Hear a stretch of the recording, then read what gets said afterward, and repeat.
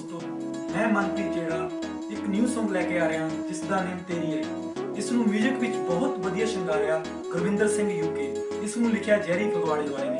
ਉਮੀਦ ਆ ਤੁਸੀਂ ਪਿਆਰ ਦੋਗੇ। ਇਸ Song ਦੀਆਂ ਕੁਝ ਕਲੈਨਾ ਤੁਹਾਡੇ ਨਾਲ ਸਾਂਝੀਆਂ ਕਰਨ ਜਾ ਰਹੇ ਸੱਚਾ ਪਿਆਰ ਕਹਿੰਦੇ, ਸਦਾ ਵਫਾ ਮੰਗਦਾ, ਜ਼ਿੰਦਗੀ 'ਚ ਦਿਲ ਵਸ ਇੱਕ ਵਾਰੀ ਲੱਗਦਾ। ਸੱਚਾ ਪਿਆਰ ਕਹਿੰਦੇ, ਸਦਾ ਵਫਾ ਮੰਗਦਾ, ਜ਼ਿੰਦਗੀ 'ਚ ਦਿਲ ਬਸ ਇੱਕ ਵਾਰੀ ਲੱਗਦਾ।